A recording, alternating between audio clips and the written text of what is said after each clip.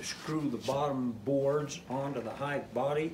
That's the best way to do it, so I don't uh, have any escapee bees or any accidents while we're moving bees. We want them contained. R.O.B. Manley used to go to great lengths to keep the bees inside the box while he's moving them.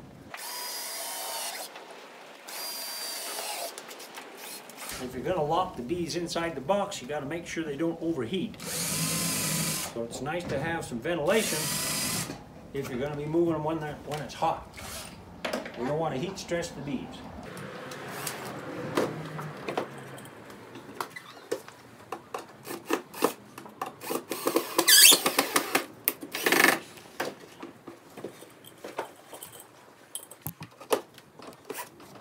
You don't want to kill the bees by overheating. That happens.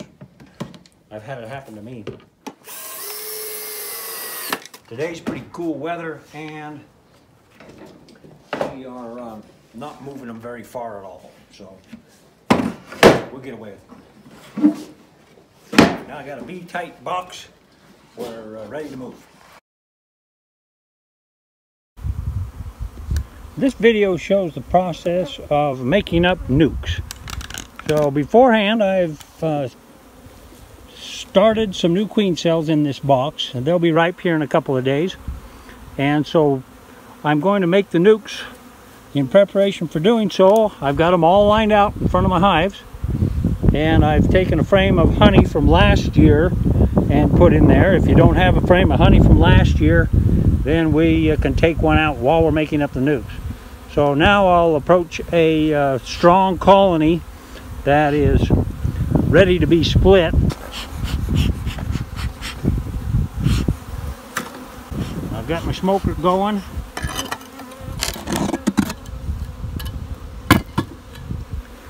I doubt there will be anything in the top box that I need. There may be some honey there, but I'm after a frame of brood or two, and a frame of honey or two, and a frame of a little bit of both. So let's take this top box off.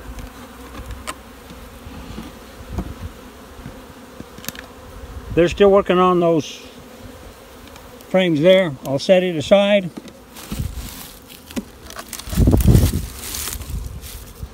I expect uh, much the same from the third box up. This is the end of April and usually we have swarms coming out a little bit earlier this year. Swarm season's a little bit late, so we're making splits a little bit, uh, a week or two later than we usually do. Uh, I came in here before and I put a couple of frames of brood up higher. So let's take a frame of brood out and we're likely to find the queen on a frame of brood so I'll inspect carefully for the queen bee before I put this in a nuc box. So there's a frame of brood that's capped over. I don't see young larvae in that frame which means the queen is probably down below but we'll give it a good looking over first just to make sure. And I don't see her. I see lots of drones on there. We'll put in a frame of brood this early in the year they might gain enough speed and momentum. If I only had one frame of brood in there it'd be best if I put two. There's another good frame right there. I'm seeing larva that's about three days old.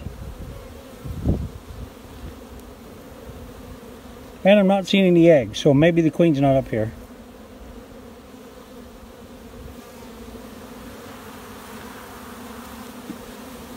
Frame of brood in this box. I need some pollen. Let's go down to the next box.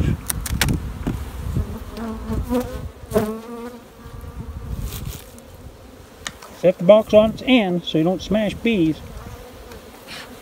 A little more smoke. I don't want to smoke them too much. Be nice if I could find the queen, but I don't want to chase the bees off the frames. So keeping the bees on the frames with just a little bit of smoke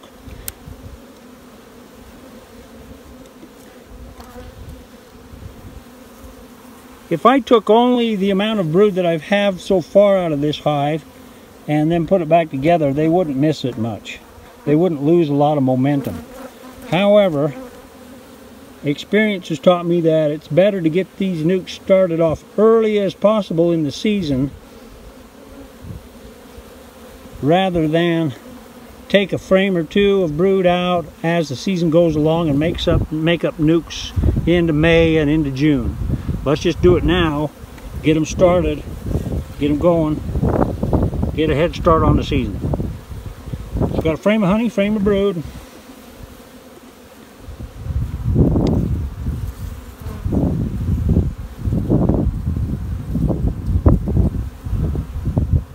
A little bit of pollen there. There's not a lot of bees on that one, but we've got plenty of honey and a little bit of pollen. I think we'll call that good.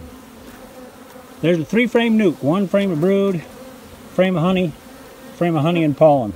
All done. Close up the entrance and I'll put it in the shade.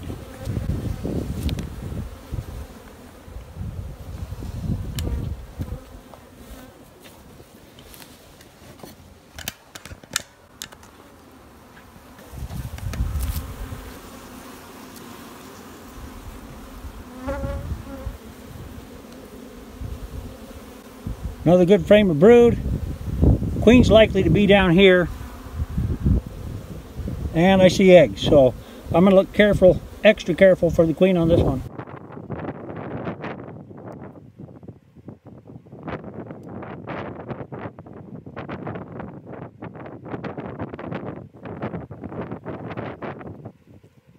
That's four frames brood out of this colony. Frame of brood and there's plenty of pollen in this one. Check carefully for the queen.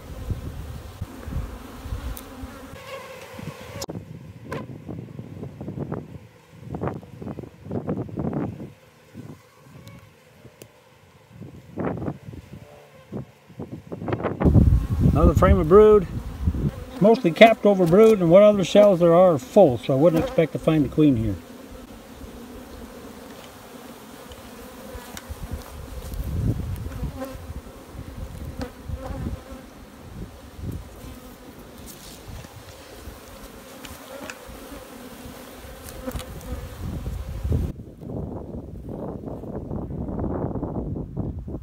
Pollen and honey. I'm having a second thought about this first one I made up. I don't think there's enough bees on that second frame. So I'm going to shake this one off. We've got all the frames we need. I'm just going to add some more bees to it.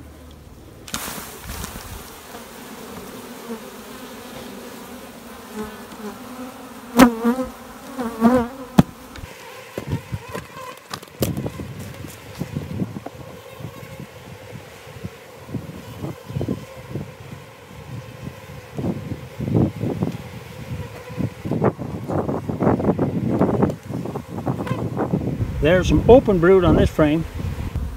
And some pollen. I think we'll put that little bit of open brood with one of these other colonies. And so they've got a frame of brood in a little bit.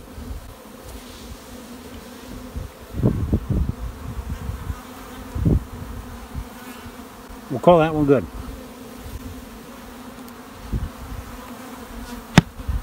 Put it in shape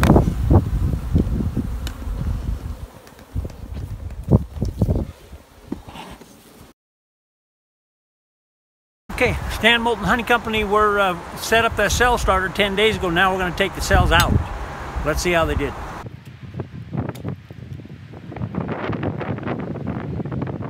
I already took a couple of them out. A couple of these cells up here don't look so great. They're they look okay, but they're a little short. They're stubby. These look fine. I think we got a good batch of queens. They've built some webbing around some of the cells. So I'm going to cut that out carefully. Carefully I'll remove that webbing around there. See that's attached to that one there. I'll just kind of cut that out of the way. There's these two cells right here that I need to I need to separate. So if I'm careful, I can cut that wax and webbing out of the way. All right.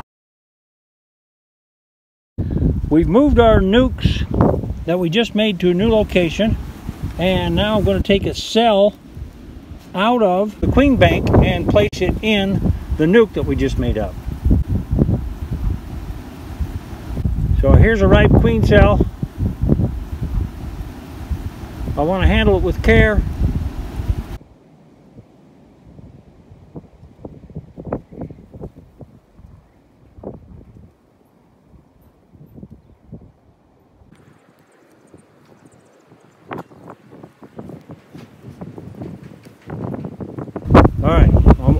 make sure that we open the door to our nucs. Don't want to drive away and forget to do that. I've done that before.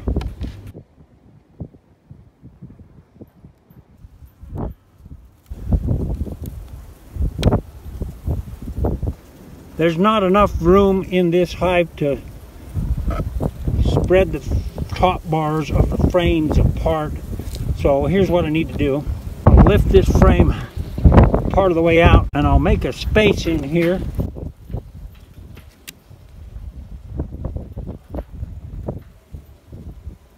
Where I can put the queen cell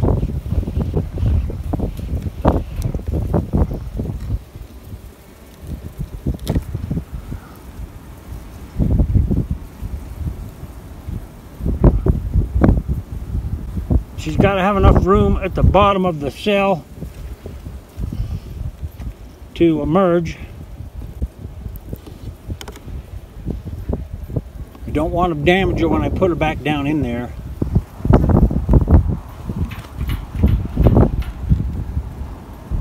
Okay. That's on a frame of honey next to the frame That's okay. Just right there. That rock's on the top of there to keep the livestock from tipping the hive over, not to keep the lid on. This lid's hinged on, so it's not going anywhere. All right, we go do that again on the next nuc.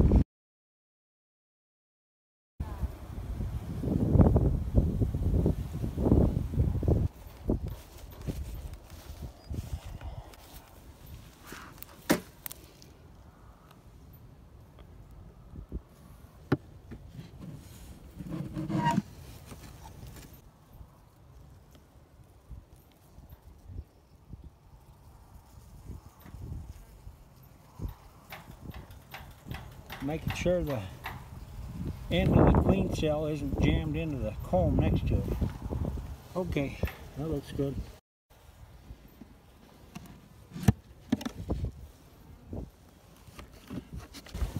Make sure to open the entrance.